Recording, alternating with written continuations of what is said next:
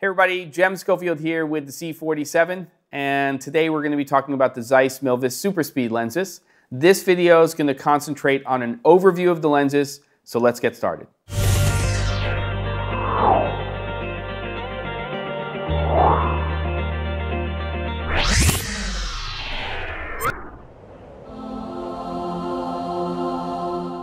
In this video in the series, what I want to do is talk about the key features of the lenses, sort of the nuts and bolts, the stuff that has to do with the numbers. And then in other videos in the series, we'll take a look at the visual components of these lenses.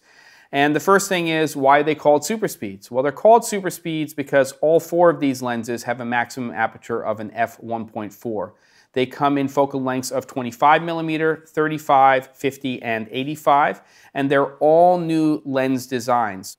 For the Zeiss Milvus 1.4 25, we have an aperture range of an f1.4 to an f16. We have 15 lens elements in 13 groups. The filter thread on the front of the lens is an 82 millimeter and the focus throw, the rotation angle of the focusing ring is 172 degrees. So a nice long throw on these lenses and of course with hard stops. For the Zeiss Milvus 1.4 35, we have an f1.4 to an f16. We have 14 lens elements in 11 groups. We have a 72 millimeter filter thread and a focus throw of 227 degrees. For the Zeiss Milvus 1.450, we have an aperture range of an f1.4 to an f16. There are 10 lens elements in eight groups. It's a 67 millimeter filter thread and a 225 degree throw for the rotation angle of the focusing ring. And lastly, for the Zeiss Milvus 1.485, we have an f1.4 to an f16, 11 lens elements in nine groups.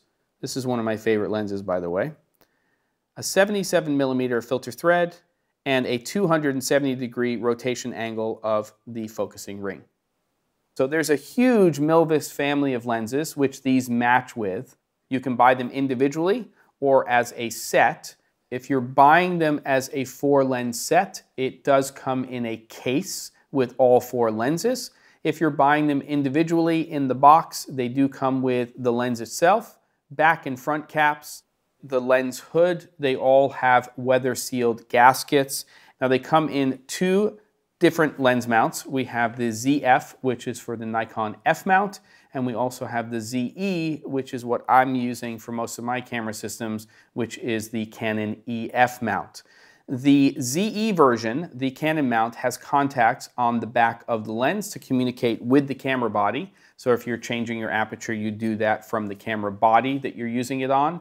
For the ZF or Nikon F mount versions of these lenses, the actual aperture ring is on the barrel of the lens and that can actually be clicked or declicked so you can pull aperture. So one of the things that you will immediately see from a physical standpoint is that each of these lenses has a different size barrel in terms of the width, in terms of the length. And so that is one of the compromises that you're going to make. It's not really about image quality when you're comparing these to something like, let's say, the CP3s. It's the fact that they're not geared with the gears in the same place on all of the lenses, with the consistency in terms of the barrel sizes and lengths. But Zeiss does have a solution for people like me who are using these lenses in the video production and filmmaking application, and those are the lens gears. They come in various sizes, and they're very easy to use. You loosen them by turning them in opposing directions. You tighten them by turning them in opposing directions the other way. And for me, these lens gears really are what take this set of super speeds and allow me to use it in a lot of different video production and filmmaking environments. We've been using these lenses on all kinds of cameras. So while we're using them again on full frame DSLRs, we're also using them on super 35 millimeter base camera systems that allow us, because of the lens designs, to go all the way up to resolutions of 8K.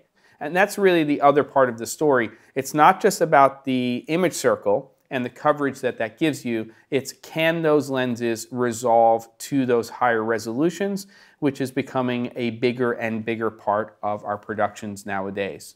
And the other thing about the Zeiss lenses is that they match each other. So when I'm using these super speeds together, I can have the confidence that they're all going to match in terms of their contrast, in terms of the way they render color, in terms of their sharpness. But they're also going to match with the other lenses in the Zeiss Milvus family and other families of lenses that Zeiss makes.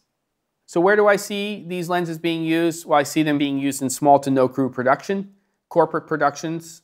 We see a lot of people in-house now, and they may not have the budget to go into the CP3s. So the Milvus Super Speeds are a great option. And I can also see these lenses being used in a variety of different productions for independent filmmakers. Cost-effective solutions with exceptional image quality, gearing them up with the Zeiss lens gears, and having that ability to not only have the confidence of image quality, but to be able to go to these wider apertures for certain looks in production. So I think that's the nuts and bolts stuff having to do with an overview of the Milvus Super Speeds. In the other videos, we're going to be taking a look at what to me is the most important stuff, the images that these lenses can produce. Thanks for watching.